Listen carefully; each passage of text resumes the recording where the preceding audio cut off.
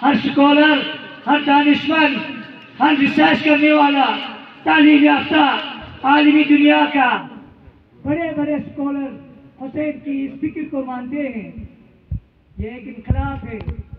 आप मत समझना कि हम खिलाड़ियों के बीच में एक मुख्तसर सा जुलूस निकालते हैं तो ये सिर्फ़ आज़ादारी और सेनाजादी के बाद सेनाजनी तक महदूद रहेंगे। नहीं आज़ादारान हुसैन। इससे करबला की विशेष जाते हैं। आलम इंसानियत की ज़मीन को हम जंग जोड़ते हैं। जहाँ जहाँ जुल्म होगा, जहाँ जहाँ बरबरीत होगा, जहाँ इंसान के हुकूक पामाल होंगे, वहाँ करबला की फ़िक्र को उठ खड़े होना है। इसी को तो करबला कहते हैं। इसी को तो करबला की हदफ और मकसद है। इन्नमा खरजता, जब हमने मदीना छोड़ा रोज़े रसूल छोड़े रोज़े जहरा छोड़ा, अपना वतन छोड़ा, अपना चूल्हा, चूल्हे हमने बुझाया, तरफ़ करबला हम निकाले, क्यों? किस लिए?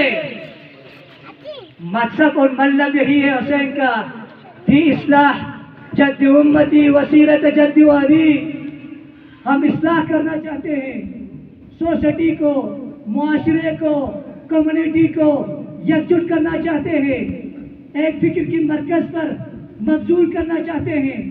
यही है करबला। यही है करबला के विशेष।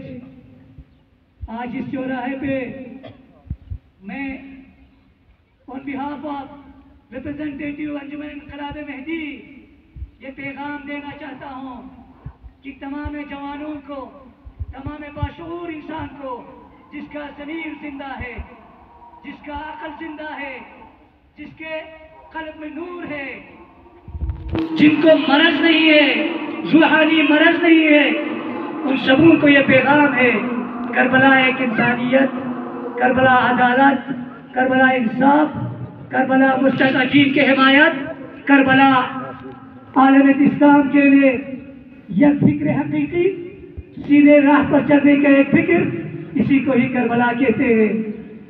मैं आप लोगों का ज़्यादा वक्त न लेते हुए, क्योंकि आप लोग खस्ता हालात हैं, हमारा एक दस्तूर है, यहाँ पर तमाम है, हमारे जुलूसे यहाँ पर रुक के जो यहाँ पे मधून किराम, उनके हक में सूर्य हमद पर कर फातिया हम तिलावत करते हैं।